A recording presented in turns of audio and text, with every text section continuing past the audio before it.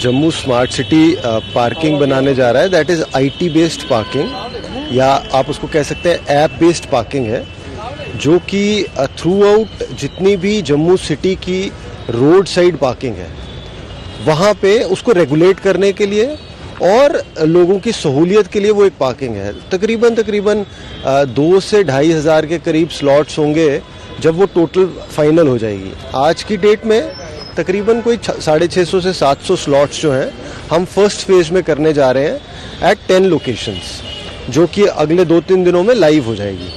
उसके लिए एक पार्किंग ऐप है, जम्मू पार्क स्मार्ट करके।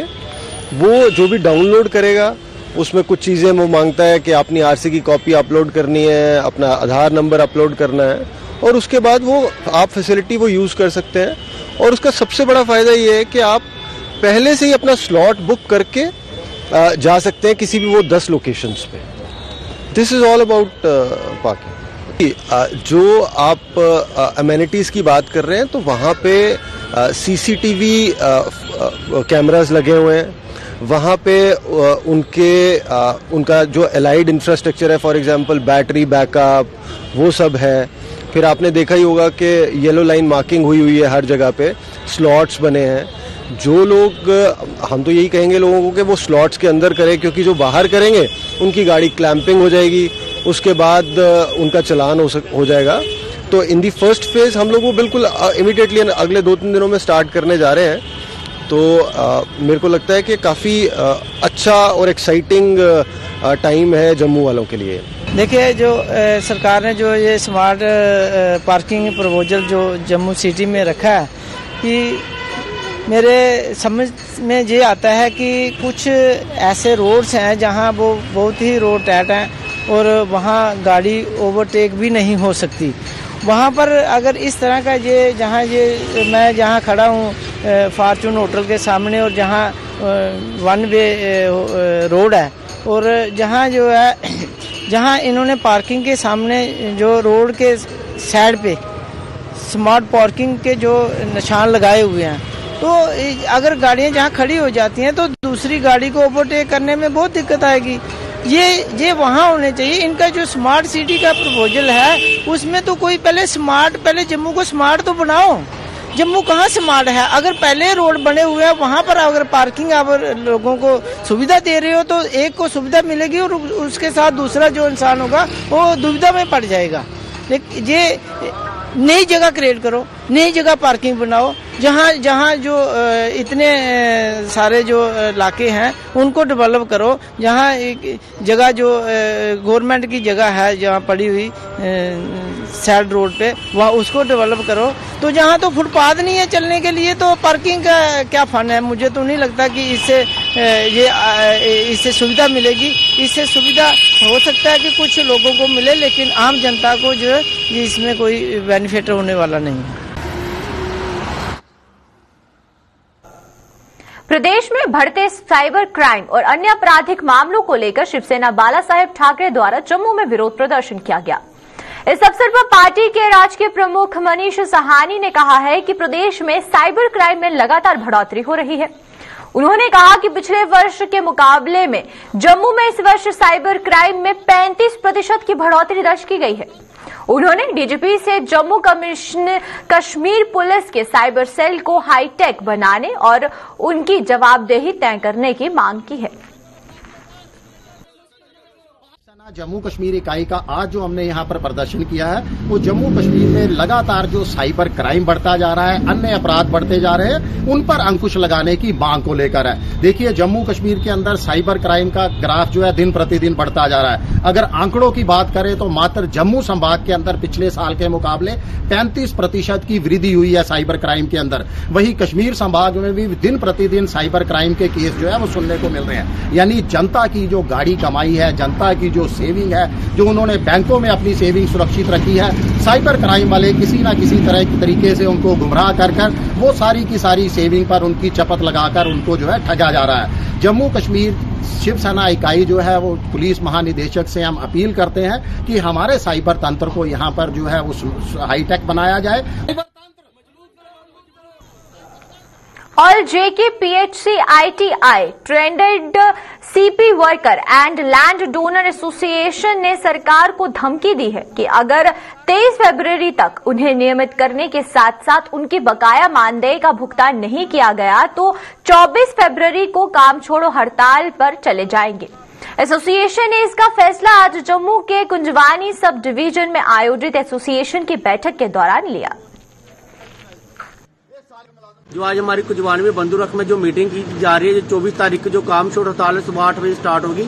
हम अपने जितने भी डिवीज़न के और जितने भी हमारे वर्कर है, बाईस हज़ार तुरंजा पूरे जम्मू से जितने लोग हैं, हम सबको ये बताना चाहते हैं कि हमारी मीटिंग हर जगह से चले, चाहे वो चुनाव वैली हो, कल आपने चुनाव वैली में देखा बदरवाल से भी हमारे देखा, किश्तवाड़ से, डोडा से, पूरे चुनाव वैली पीर पंजाल, सांबा, कठुआ बनी बसोली, इधर हर लोग हैं, जितने भी लोग हैं चौबीस तारीख को सुबह आठ बजे काम छोड़ हड़ताल पे हम जिस सरकार को कहना चाहते हैं, हमारी हमारी जो डिमांड ऑफ़ चार्ट में हमने जो दिया है चीफ इंजीनियर के थ्रू कमिश्नर सेक्रेटरी साहब को एलजी साहब को, प्रशासन को हमने नोटिस भेजा है, दस दिन का। हमने टाइम दिया तेईस तारीख तक हमारी regularisation policy minimum wages act और जितनी पेंडिंग वेजेस है अगर रिलीज़ नहीं होते। चौबीस तारीख को सुबह आठ बजे जो जितना भी बाईस हज़ार तिरंजा लोग हैं, जो सभी काम छोड़ हड़ताल पे जा रहे हैं, जिसकी जिम्मेवारी पूरी एलजी सरकार की होगी। सारे, लेकिन जम्मू कश्मीर के विभिन्न सरकारी विभाग में काम कर रहे डेली वेजरों को नियमित करने सहित अन्य मांगों को लेकर रिपब्लिकन पार्टी ऑफ़ इंडिया के कार्यकर्ताओं ने जम्मू में आज प्रदर्शन किया है। प्रदर्शन की अगुवाही कर रहे पार्टी के प्रदेश अध्यक्ष तनवीर हुसैन ने धमकी दी है कि अगर सरकार ने जल्द उनकी मांगे पूरी नहीं की तो उनकी पार्टी लखनपुर और दिल्ली स्थित जंतर मंतर पर धरने प्रदर्शन को मजबूर हो जाएगी। लेकिन सरकार ने अगर जल्द से जल्द हमारे इन मसलों को हल नहीं किया, अगर सरकार ने जल्द जल्द वो sixty one thousand casual labours का मसला हो, वो यहाँ के एस पी ओज हूँ, यहाँ के, या बाकी साथी और उनके मसले को हल नहीं किया तो आने वाला जो वक्त होगा बहुत खतरनाक होगा।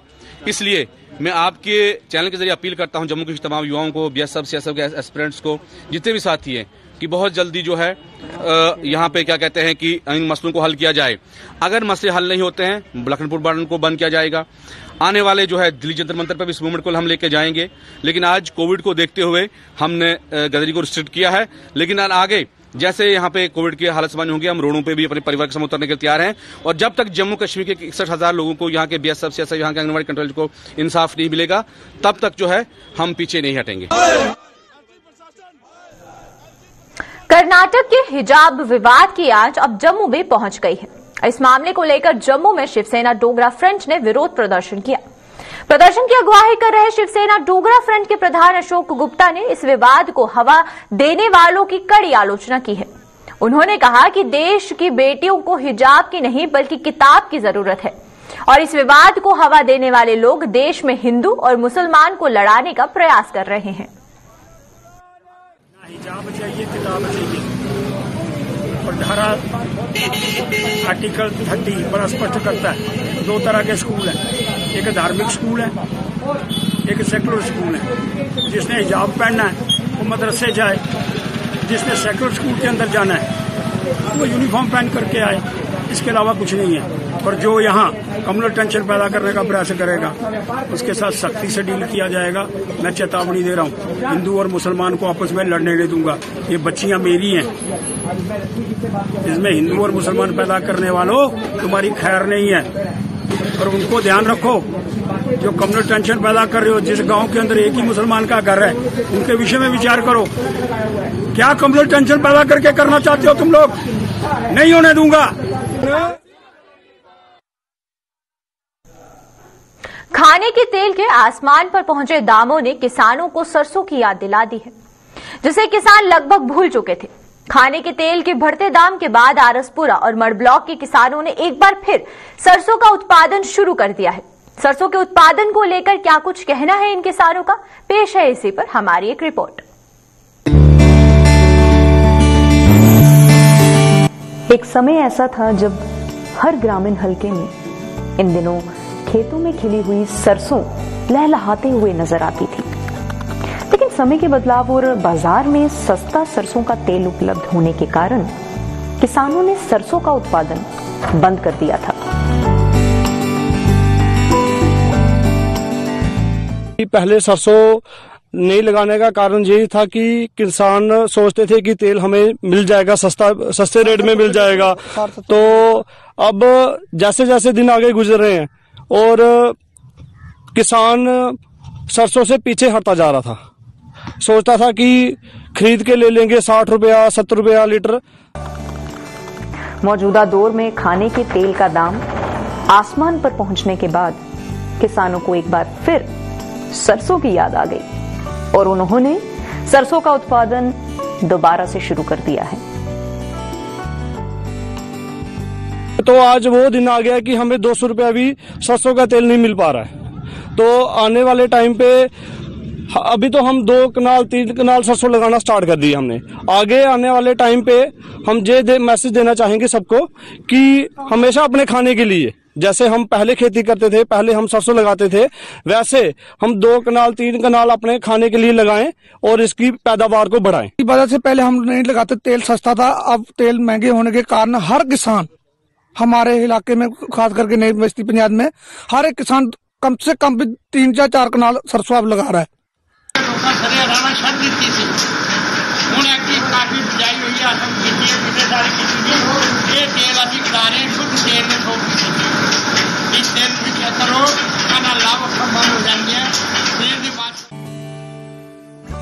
आरएसपुरा और ब्लॉक मड़ में बड़े पैमाने पर किसान अब सरसों की खेती कर रहे हैं। अगर ब्लॉक मड़ की नई बस्ती पंचायत की बात करें तो यहाँ पर 70 प्रतिशत किसानों ने दोबारा सरसों का उत्पादन शुरू कर दिया है।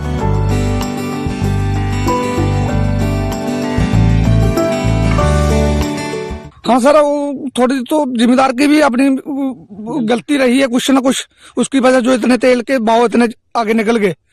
ठीक है, अब जो जिम्मेदार हर एक जिम्मेदार लगाएगा तो मेरे ख्याल में आने वाले वक्त में इसका रेट और थोड़ा कम आएगा।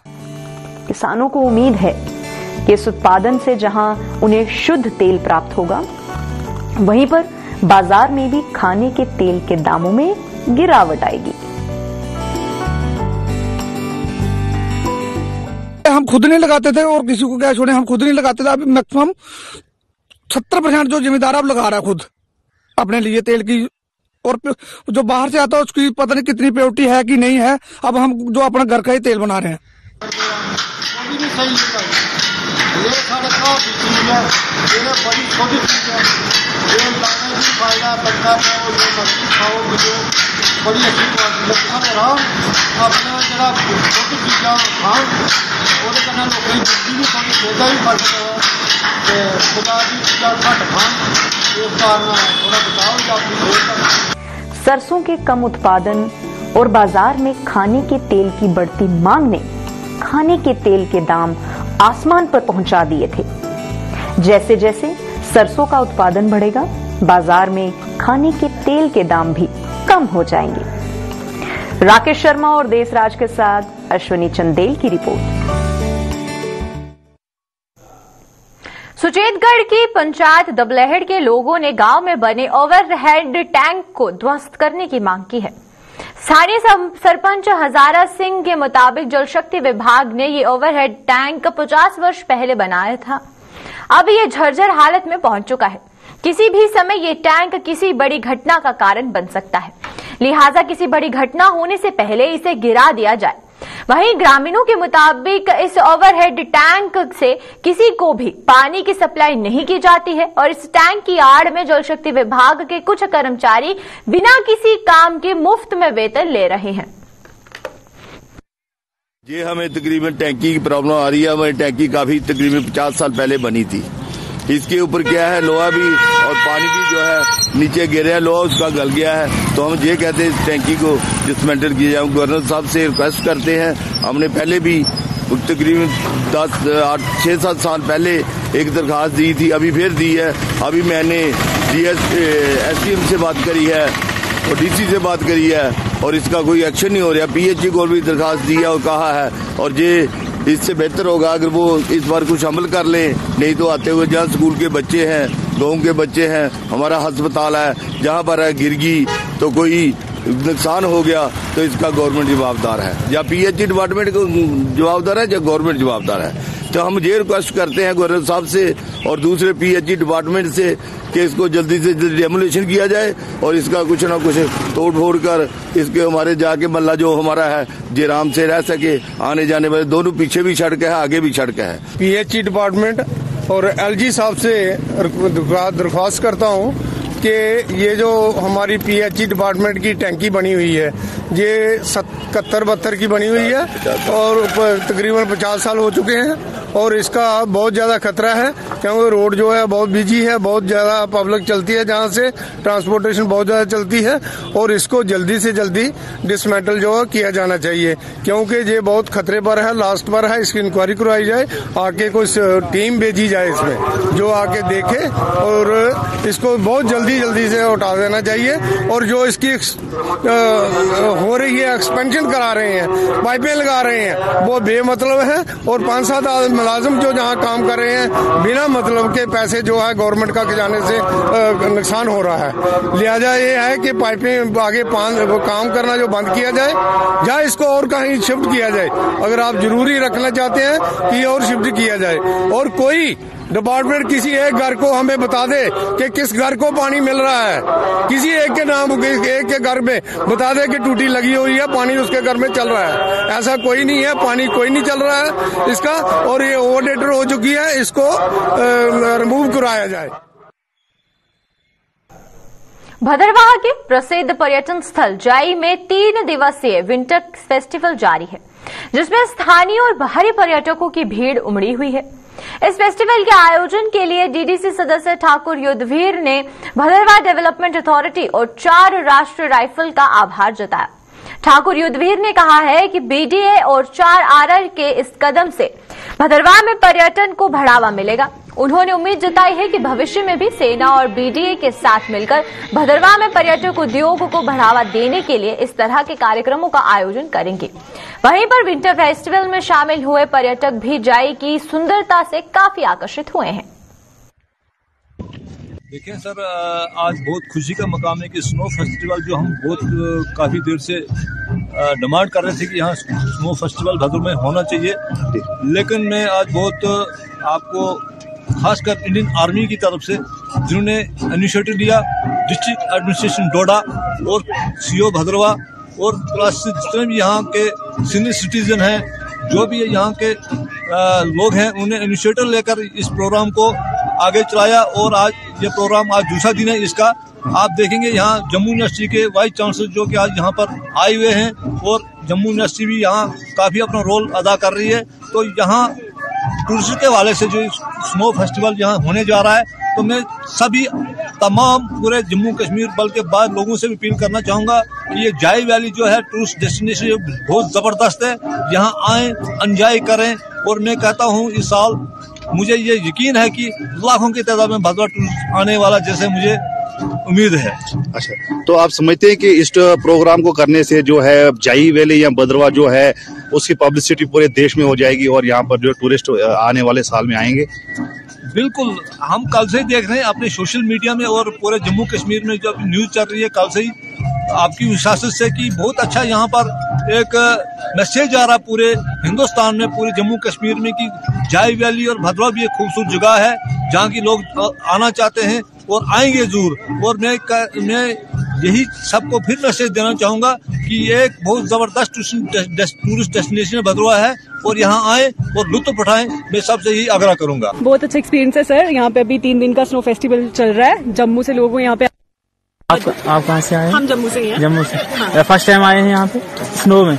नहीं सेकेंड टाइम आई हूँ स्नो में यहाँ फ़र्स्ट टाइम आई बिल्कुल। लास्ट टाइम जब आए थे तब यहाँ स्नोफॉल नहीं हुआ था। तो अनुभव कैसा होगा? बहुत अच्छा सर यहाँ पे डिफरेंट डिफरेंट तरह की गेम्स हो रही है जैसे स्कीइंग हो रही है ट्यूब से ट्यूब फॉल हो रहा है। लोगों को यहाँ से भद्रवा से भी लोगों को यहाँ से आना चाहिए। बिल्कुल। जम्मू से भी आना चाहिए यहाँ पे फॉर न्यू एक्सपीरियंस अब क्षेत्र के किसान अपनी ज़मीन का पूरा ब्यौरा अपने पास सुरक्षित रख सकेंगे और उनकी ज़मीन कोई भी हेराफेरी के साथ बेच नहीं पाएगा। जम्मू ज़िले में कई क्षेत्रों में शिविर का आयोजन कर राजस्व विभाग के अधिकारियों की ओर से ज़मीन की फेस पासबुक मौके पर जारी की गई। जम्मू से सटे मड ब्लॉक में भी एक कैंप का आयोजन कर लैंड पासबुक जारी की गई। इस मौके पर लैंड पासबुक पाकर किसानों ने खुशी जताई है।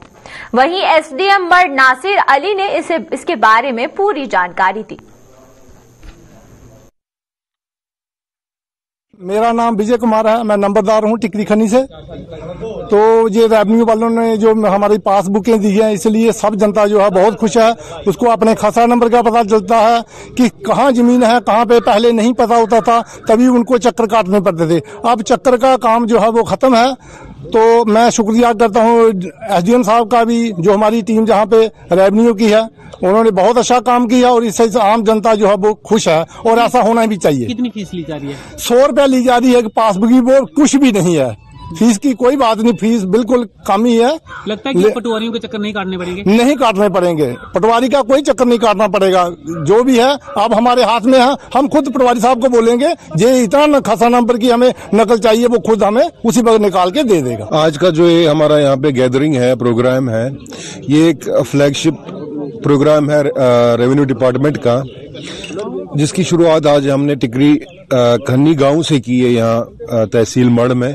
आज के दिन में पूरे डिस्ट्रिक्ट में सभी तहसीलों में हर एक एक एक गाँव चुना गया है, वहाँ पे ये प्रोग्राम चल रहा है। हमने भी आज यहाँ टिकरी खन्नी में जो आप गैदरिंग देख रहे हैं, फार्मर्स की, इनको हमने जो पासबुक्स है इंडिविजुअल पासबुक्स, ऑनर्स की हमने इनको इशू कर दी हैं। इसमें अभी का जो स्टेटस है, जो लेटेस्ट जमाबंदी है जमाबंदी का रिकॉर्ड अपडेटेड है इसमें, वही रिकॉर्ड जो ऑनलाइन है, हमने उसकी पासबुक निकाल के इनको हैंड ओवर कर दी है। मेरी सभी यहाँ पे टिगरी गनी के लोगों से ही रिक्वेस्ट रहेगी कि जो यहाँ लोग आ नहीं पाए, वो तहसील ऑफ़िस में जाके अपनी ये जो पासबुक्स तहसीलदार साहब से कलेक्ट कर लें। तो चलिए अब तक के जम्मू कश्मीर की खास खबरों में फ़िलहाल इतना ही। मुझे दीजिए इजाज़त। नमस्कार।